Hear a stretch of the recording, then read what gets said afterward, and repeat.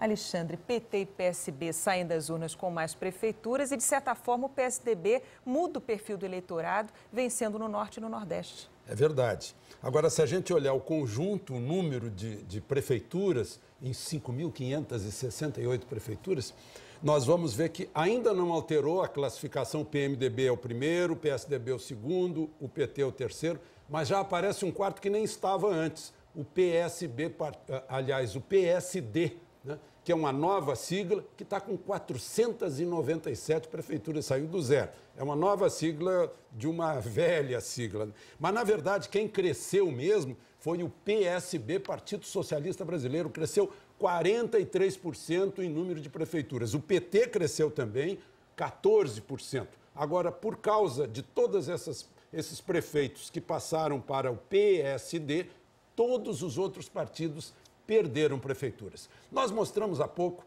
a presidente da Justiça Eleitoral, ministra Carmen Lúcia, que teve uma atuação discreta e brilhante nessa eleição, estar preocupada com as, com as abstenções. Eu diria que quem deve estar preocupado são os partidos políticos, porque afinal eles têm que responder porque um em cada cinco eleitores não encontrou motivos, estímulo para ir às urnas nesse segundo turno. E três em cada dez eleitores em São Paulo, 31% de abstenções.